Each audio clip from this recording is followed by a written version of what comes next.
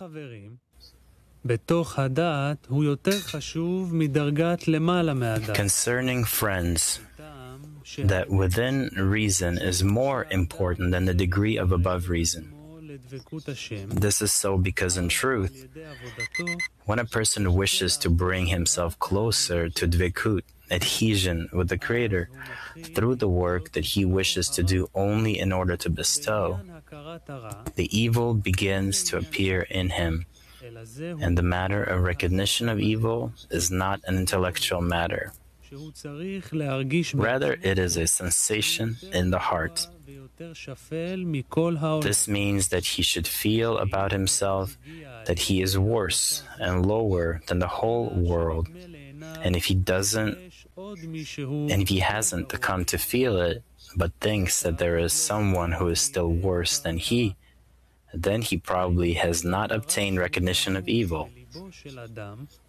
In other words, the evil is still hidden in his heart and still hasn't been disclosed to him.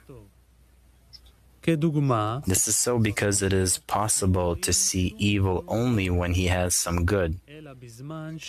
For example, it is impossible to detect any dirt in the house if it is dark, but when you turn on a lamp, you can see that there is dirt there.